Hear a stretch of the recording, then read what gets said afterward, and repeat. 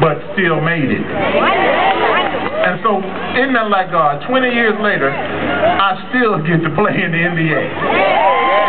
I get to I, get to produce music that they pipe into the players' headphones while they're practicing to soothe their spirit. So I still end up playing for the NBA, but just another instrument. God is faithful.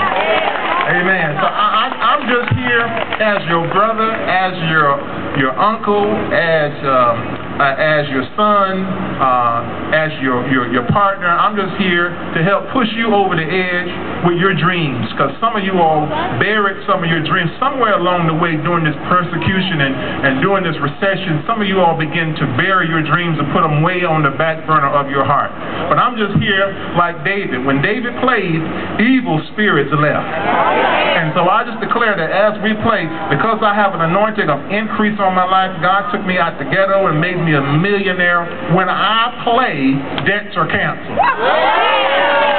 When I play, million dollar ideas come, creativity flows. So you can sit there all night, but I just need for you to, to don't close your arms, open your heart. And as we play tonight, I ask that God reveals your future to you. And I declare as your partner that everything that put your hands to will succeed. And this is your night of victory. Why don't you give God a praise in advance on credit for what he is doing?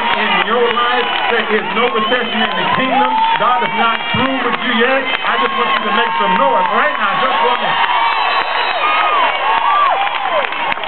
In fact, if you ain't scared, just get up and give two people a high five and say, ain't no stopping us now.